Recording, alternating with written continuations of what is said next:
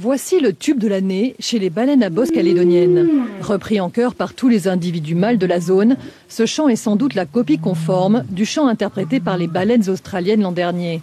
Depuis une quinzaine d'années, les scientifiques ont en effet observé une transmission d'ouest en est de ces vocalises baleinières. Chaque population de baleines possède sa propre chanson. et nous ne comprenons pas vraiment pourquoi les baleines calédoniennes copient le chant des baleines australiennes au lieu de créer leur propre chanson. Ces deux groupes sont génétiquement différents, ne se reproduisent pas entre eux. Alors pourquoi font-ils cela? Quels bénéfices en retirent-ils Nous l'ignorons.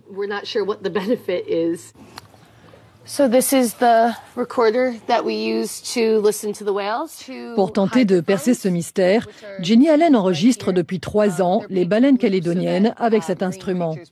Il enregistre 18 heures par jour, tous les jours, pendant trois mois. Les enregistrements se font en continu de 3 heures de l'après-midi à 9 heures le lendemain. Vous voyez, là, il y a deux cartes SD et c'est là que toutes les données sont enregistrées. Objectif de cette étude, suivre l'évolution des populations de baleines dans le Pacifique Sud.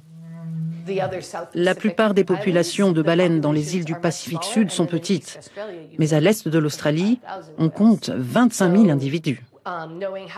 Donc en étudiant comment les baleines communiquent entre elles, nous pourrons déterminer si ces petites populations des îles sont en danger ou si au contraire elles appartiennent à une seule et grande famille pour laquelle nous n'avons pas à nous inquiéter.